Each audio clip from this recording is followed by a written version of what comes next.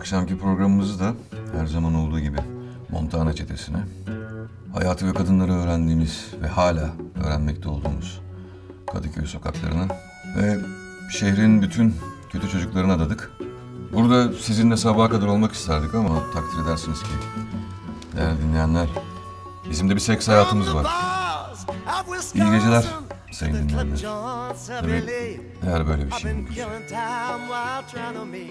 Let's get on.